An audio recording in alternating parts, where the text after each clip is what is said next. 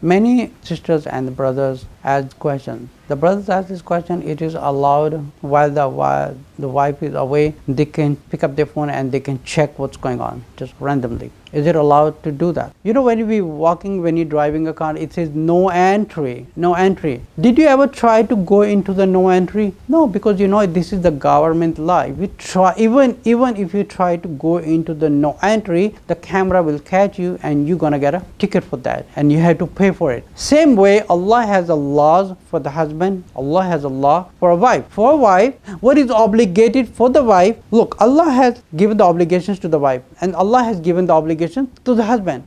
Between their relation, what Allah has obligated to them, respect her, respect him. Love him, love her. Be humble to her, be humble to him. If husband is taking a drug, if he is smoking, he is going to the club, he is doing every sin that is between Allah and between the husband that is between Allah and ibadi. That has nothing to do with the wife. Because what is obligated from Allah to the wife to give the respect to care and the respect and humbleness this is what you are obligated from Allah. Because let's say for that for that person is a drunkard he smokes he drinks he does drugs he does everything. But in his family life he loves his wife. He cares about her. He's fulfilling her all his responsibilities to her. Is he good to Allah or is he bad with Allah? Is he a bad person or is he a good person? He's a good person because what is he doing? That is between Allah and that is between him. He takes drugs, he goes to drugs, he does everything, he watch pornography, he does he alcohol, he goes to clubbing, he does everything.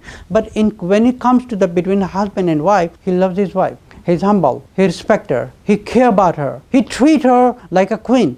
And that woman, that wife, sneaks into the things of her husband. And because of that, that shaitan asked her to do that. How does he do that? Because let's understand something. The, the, the relationship between the husband and the wife is the only relation in the world that shaitan enjoys to play a role between these two and cause what his main goal is to cause a fitna. How does he cause the fitna? He will ask a husband when your wife is not there, go investigate on her. What is she going? Where is she going? What does she do? Leave her alone. You filling up your character between Allah because what is obligated from Allah to you is respect her, love her, care about her, treat her like a queen. If he is doing that, so what is he doing in his personal life? That is between Allah and that is between the ibadi. That has nothing to do with the wife.